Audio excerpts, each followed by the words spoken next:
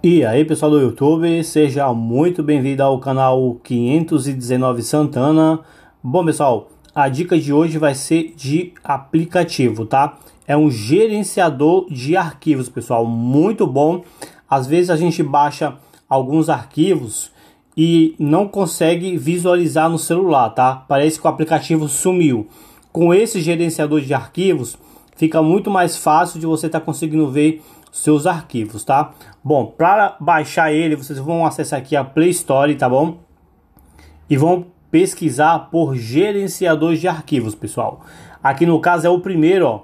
Vocês podem ver que já está instalado no meu, tá? Eu vou dar um toque aqui. Agora ele vai ficar com esse ícone aqui quando vocês baixarem ele, tá bom, pessoal? Ó, com esse ícone aqui, ó. E eu vou dar um toque para abrir ele vai pedir para você permitir, vocês podem permitir, tá bom? E essa é a interface do aplicativo, pessoal, é bem fácil de usar, tá bom?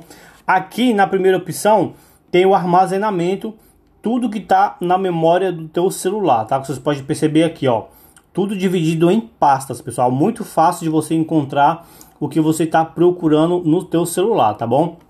Aqui o segundo é a opção de cartões de memória. Esse meu celular está sem cartões de memória.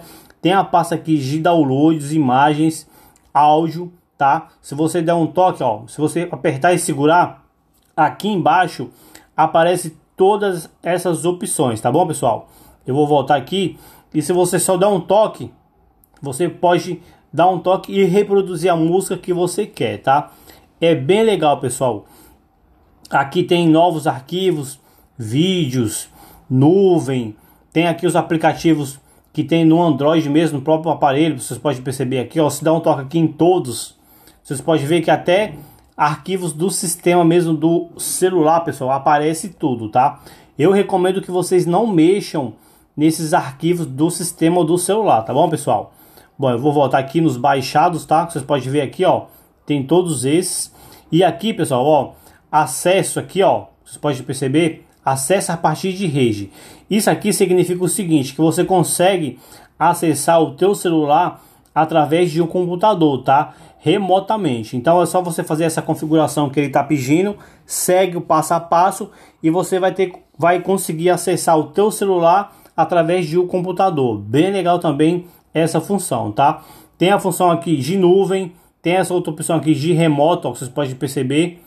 Bem legal, um aplicativo bem fácil de estar utilizando, pessoal, como eu falei para vocês, um gerenciador de arquivos, tá? Aqui nos três pontos você dá um toque, tem aqui as configurações, ó. Como vocês podem perceber, ó, visualizador de imagens, de vídeo, de música, de texto. É um aplicativo bem legal, leve, fácil de estar tá utilizando. Como vocês podem perceber aqui, ó, detectar conexão USB. Assim que você conecta, ele vai detectar, tá bom, pessoal? Ó, mostrar aqui um pouco das funções. A versão que eu estou usando aqui embaixo, como vocês podem perceber, ó, versão 2.60, tá pessoal? Bem legal o aplicativo, recomendo, vale a pena você estar tá baixando ele, esse gerenciador de arquivo, é bem fácil de estar tá utilizando, tá bom pessoal? Bom, um vídeo bem rápido, essas dicas de aplicativo de hoje, desde já eu quero agradecer a todos vocês que são inscritos no canal, você ainda que não é inscrito, se possível se inscrevam e se possível ative o sino porque assim vocês não perdem as notificações dos próximos vídeos, ok pessoal? Desde já quero agradecer a todos e até o próximo vídeo.